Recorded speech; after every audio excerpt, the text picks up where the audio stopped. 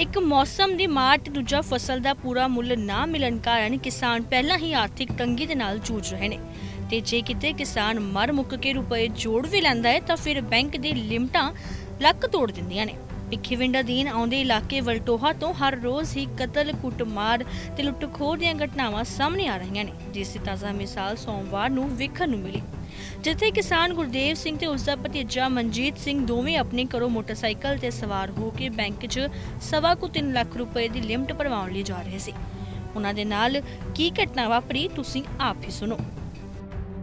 ਸਾਨੂੰ ਤੇਲੀਆਂ ਵਾਲਾ ਵਾੜਾ ਲੰਘ ਕੇ ਤੇ ਡਿੱਬੀਪੁਰ ਦੇ ਸਾਹਮਣੇ ਦੇ ਵਿੱਚ ਪਲਸਰ ਮੋਟਰਸਾਈਕਲ ਕਾਲੇ ਰੰਗ ਦਾ ਦੋ ਜਣੇ ਮੁੰਨੇ, ਉਹਨਾਂ ਨੇ ਮਤਲਬ ਮੂੰਹ ਬੱਧੇ ਚਿੱਟਿਆਂ ਪਰਨਿਆਂ ਨਾਲ, ਇੱਕ ਨੇ ਫਿੱਕੀ ਜੀ ਹਰੀ ਟੀ-ਸ਼ਰਟ ਪਾਈ ਹੋਈ ਤੇ ਸਾਡੇ ਕੋਲ ਸਵਾ ਤਿੰਨ ਲੱਖ ਰੁਪਇਆ ਟੋਲ ਹੋਈ ਜਿਹਦੇ ਵਿੱਚੋਂ ਲੱਖ ਰੁਪਇਆ ਮੇਰੇ ਕੋਲ ਸੀਗਾ ਤੇ 15000 ਚਾਚਾ ਜੀ ਨੇ ਉਸਲੀ ਜੇਬ 'ਚ ਪਾਇਆ ਸੀ ਤੇ 2 ਲੱਖ ਰੁਪਇਆ ਜਿਹੜਾ ਸੀ ਉਹ ਥੋੜੀ ਜੇਬ 'ਚ ਪਾਇਆ ਸੀ ਵੱਖੀ ਵਾਲੀ 'ਚ। ਉਹ ਬੰਦੇ ਮਗਰੋਂ ਆਏ ਆ ਦੋ ਹੱਥਾਂ ਦੇ ਨਾਲ ਖਿੱਚ ਕੇ ਨਾਲ ਹੀ ਜੇਬ ਤੇ ਨਾਲ ਹੀ ਲੈ ਗਏ ਤੇ ਬਸ ਅਸੀਂ 1.5 ਕਿਲੋਮੀਟਰ ਦਾ ਪਿੱਛਾ ਕੀਤਾ ਹੈ ਤੇ ਪਰ ਗਾੜੀਆਂ ਮੁੜ ਕੇ ਸਾਨੂੰ ਨਹੀਂ ਉਹ ਦੱਸੇ ਵੀ ਕਿਉਂ ਜਲਦੀ ਅਸੀਂ ਡਿੱਗ ਡਿੱਗਣ ਪੈਣ ਲੱਗ ਪਏ। ਹਾਂ ਮਹਾਂ ਹੀ ਬਚੇ, ਆਪਣਾ ਆਪ ਸੰਭਾਲਿਆ। ਜਿਹਨਾਂ ਚਿਰ ਆਪਣਾ ਆਪ ਸੈਟਿੰਗ ਹੋਏ, ਉਹਨਾਂ ਚਿਰ ਉਹਨਾਂ ਦੀ ਵਿੱਤੀ ਸਾਨੂੰ ਕਾਫੀ ਪੈ ਗਈ। ਤੁਹਾਨੂੰ ਕਿਸੇ ਤੇ ਸ਼ੱਕ ਕੋਈ ਹੈ? ਨਹੀਂ ਹੈ ਸਾਨੂੰ ਕੋਈ ਸ਼ੱਕ ਨਹੀਂ ਅਣਪਛਾਤਾ ਹੈ ਪਤਾ ਦਰਜ ਕਰਾਇਆ ਹੈ। ਕੁਝ ਚਿਰ ਪਿੱਛਾ ਕਰਨ ਮਗਰੋਂ ਵੀ ਕਿਸਾਨਾਂ ਹੱਥ ਕੁਝ ਨਾ ਲੱਗਿਆ ਤੇ ਉਹਨਾਂ ਨੇ ਪੁਲਿਸ ਕੋਲ ਰਪਟ ਲਿਖਵਾਈ ਤੇ ਪੁਲਿਸ ਦਾ ਕਹਿਣਾ ਹੈ ਮਾਮਲਾ ਦਰਜ ਕਰਵਾਇਆ।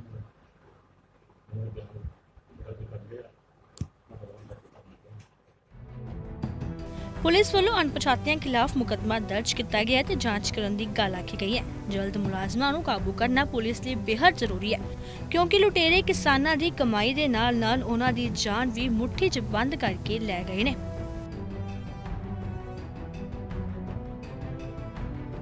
ਭਿੱਖੀਵਿੰਡ ਤੋਂ ਪਲਵਿੰਦਰ ਸਿੰਘ ਕੰਡਾ ਦੀ report tele Punjabi.